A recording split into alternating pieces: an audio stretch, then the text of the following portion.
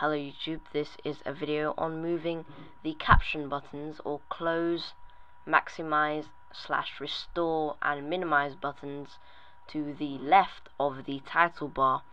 This is uh, done using a little tool called Left-Sider.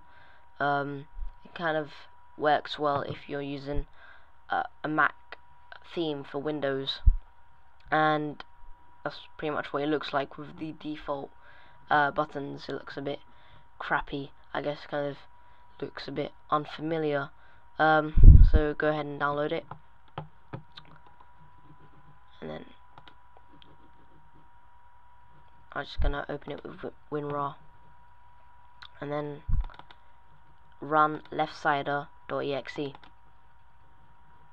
Once you've done that, it should run in your system tray.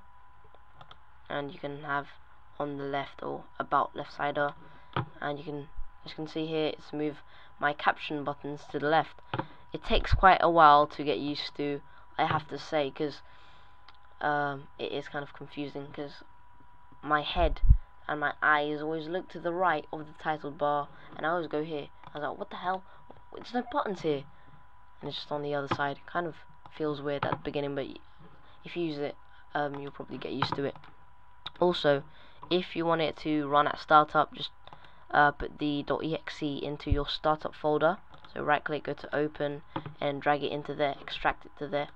Um, so yeah that's pretty much it. Uh, moving your caption buttons or close maximize slash restore and minimize buttons to the left of the title bar.